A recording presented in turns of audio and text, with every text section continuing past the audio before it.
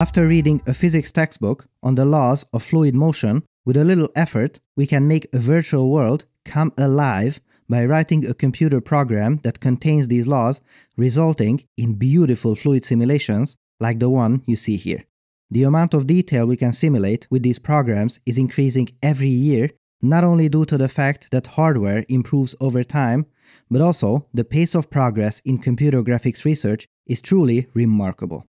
To simulate all these, many recent methods build on top of a technique called the material point method. This is a hybrid simulation technique that uses both particles and grids to create these beautiful animations. However, when used by itself, we can come up with a bunch of phenomena that it cannot simulate properly. One such example is cracking and tearing phenomena, which has been addressed in a previous paper that we covered a few videos ago. With this, we can smash Oreos, candy crabs, pumpkins, and much, much more.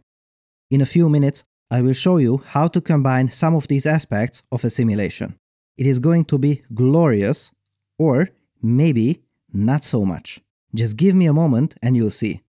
Beyond that, when using this material point method, coupling problems frequently arise. This means that the sand is allowed to have an effect on the fluid, but at the same time, as the fluid sloshes around, it also moves the sand particles within. This is what we refer to as two-way coupling. If it is implemented correctly, our simulated honey will behave as real honey in the footage here and support the dipper. These are also not trivial to compute with the material point method and require specialized extensions to do so. So, what else is there to do? This amazing new paper provides an extension to handle simulating elastic objects such as hair, rubber, and you will see that it even works for skin simulations and it can handle their interactions with other materials. So, why is this useful? Well, we know that we can pull off simulating a bunch of particles and a jello simulation separately, so it's time for some experimentation. This is the one I promised earlier, so let's try to put these two things together and see what happens. It seems to start out okay, particles are bouncing off of the jello, and then, uh-oh, look, many of them seem to get stuck. So, can we fix this somehow?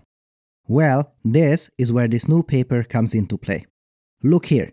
It starts out somewhat similarly, most of the particles get pushed away from the jello, and then, look, some of them indeed keep bouncing for a long, long time, and none of them are stuck to the jello. Glorious! We can see the same phenomenon here with three jello blocks of different stiffness values.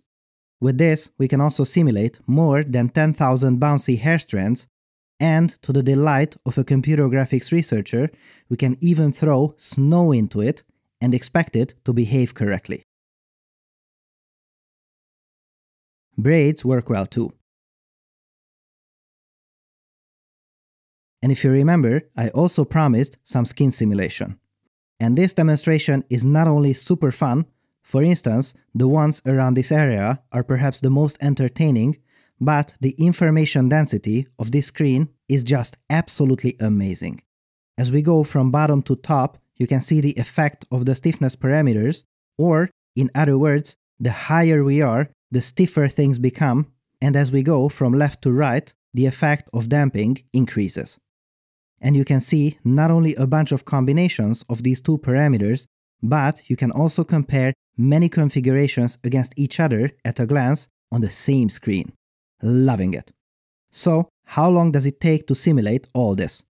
Well, given that we are talking about an offline simulation technique, this is not designed to run in real-time games, as the execution time is typically not measured in frames per second, but seconds per frame, and sometimes even minutes per frame. However, having run simulations that contained much fewer interactions than this, that took me several days to compute, I would argue that these numbers are quite appealing for a method of this class. Also note that this is one of those papers that makes the impossible possible for us, and of course, as we always say around here, two more papers down the line and it will be significantly improved. For now, I am very impressed. Time to fire up some elaborate Jello simulations. What a time to be alive! This episode has been supported by Lambda. If you're a researcher or a startup looking for cheap GPU compute to run these algorithms, check out Lambda GPU Cloud. I've talked about Lambda's GPU workstations in other videos, and I'm happy to tell you that they are offering GPU Cloud services as well.